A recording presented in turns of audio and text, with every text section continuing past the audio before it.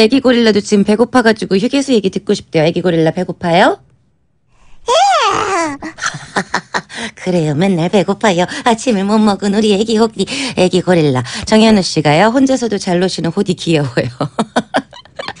그렇습니다. 제 보는 라디오로 함께 하면요. 고릴라 아빠, 엄마, 아기 가족들 다 나와 있거든요. 엄마 고릴라는 지금 자리가 없어서 저기 있는데 제가 가끔 한 번씩 이렇게 보여드릴 거예요. 이렇게 혼자, 혼자 잘 노는 호디 모습 보실 수 있습니다. 조금 이렇게 귀성길이 지루하다면 보는 라디오로 신나게 함께 해 주시고요.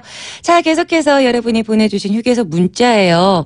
4442 경부고속도로 부산 방향 경주 휴게소 거기서 파는 핫도그가 제가 먹어본 핫도그 중에 제일 맛있어요. 납품 다니면서 일주일에 세 번은 먹네요. 크, 핫도그. 8898님. 예산 휴게소 사과 돈가스. 사과 돈가스.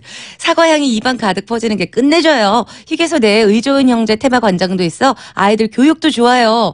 아유, 정말 어떻게 이렇게 그 상상 가게 말씀을 해주세요. 이다영 씨는요, 이천에 있는 마장 휴게소는 휴게소계의 베버리힐스라고나 할까요? 제가 너무 좋아하는 것들이 가득해요. 게다가 지금 이선재 씨, 김현민 씨 두 분이 한꺼번에 통도사 휴게소를 추천해 주셨어요. 경부고속도로 통도사 휴게소에 산양삼 전복 삼계탕 정말 끝내줘요, 이선재 씨.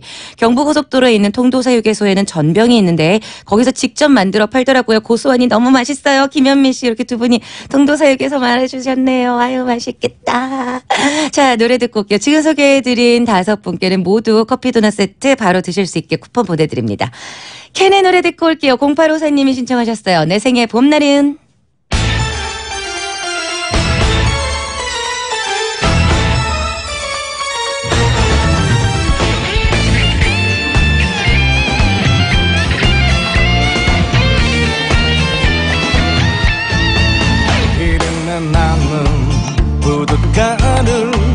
내 세상처럼 누벼가며 두 주먹으로 또 하루를 겁없이 살아간다